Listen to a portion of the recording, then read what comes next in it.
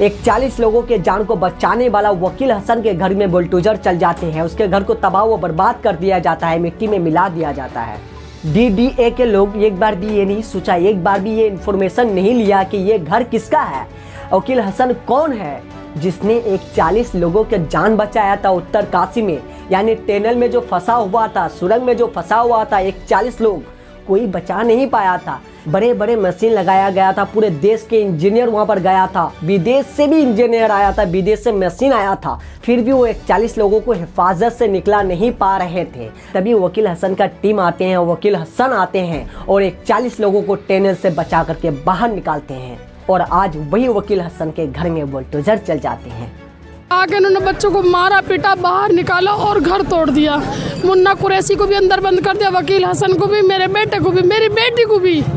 इन तीनों चारों को ले जाकर थाने में बंद कर दिए और सारा प्लॉट हमारा, ये मेरी नंद बैठी है बड़ी। ये अंदर बैठी हुई थी। अंदर बैठने के बाद भी उन्होंने सारा तोड़ कर सामान कुछ टूटा हमारा, अंदर ही कुछ बाहर। बच्चों के रिज़ल्ट तक भी नहीं हम निकाल पाए। बच्चों के रिज़ल्ट भी हमारे अंदर ही, सब उसमें रह गए। अब हम कहाँ जाएँगे? क्या सरकार हमें बताएगी कि हम कहाँ जाएँगे? सुनिए ना वकील हसन के बीबी के दर्द को सुनिए जरा। मेरे हस्बैंड तो हीरो थे उत्तर काशी के। इकतालीस मजदूरों की जान बचाई थी उन्होंने। सब उन्हें इतना सम्मान दे रहे थे इतना सम्मान दे रहे थे उस सम्मान के बदले आज मेरा मकान ले लिया। सुनिए फिर भी अगर आज आप नहीं समझोगे ना तो कभी भी आप नहीं समझ पाओगे। उसका दर्द भरे कहानी मोदी जी कहते हैं हाथ जोड़कर सबका साथ सबका विकास। हमारा विकास कहाँ है? किसे क्या कहें हम? हमारा तो एक टूटा फूटा घर था कई बार डीडी वाले आ चुके। हैं तुम्हें पता है अभी दो महीने पहले मेरा हस्बैंड वहाँ क्या कहा वकील हसन के बीबी?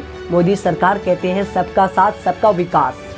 तो वकील हसन का बीबी भी कहा कि आज विकास हो गया। यानी इस तरह का वकील हसन का विकास हुआ ना, घर को तबाह व बर्बाद कर दिया गया।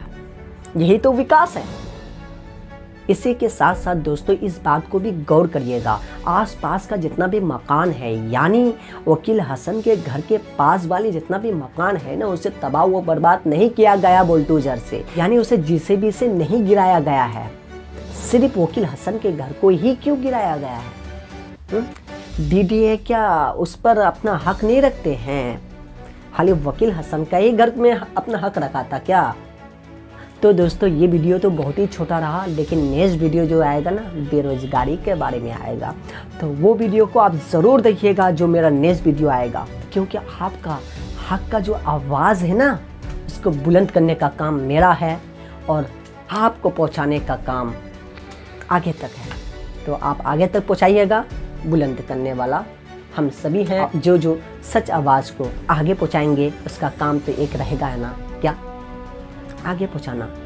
और आप तो जानते हैं, हेतु न्यूज़ अभी बहुत ही नीचे है।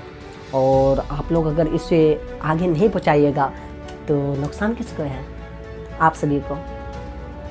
तो इसीलिए जाइए यूट्यूब में और हेतु न्यूज़ को फॉलो करिए। फॉलो मतलब सब्सक्राइब करिए।